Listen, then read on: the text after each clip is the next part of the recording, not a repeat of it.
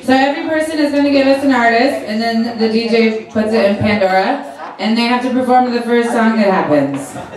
So this is going to be experimental to start with the new year for Pandora. What?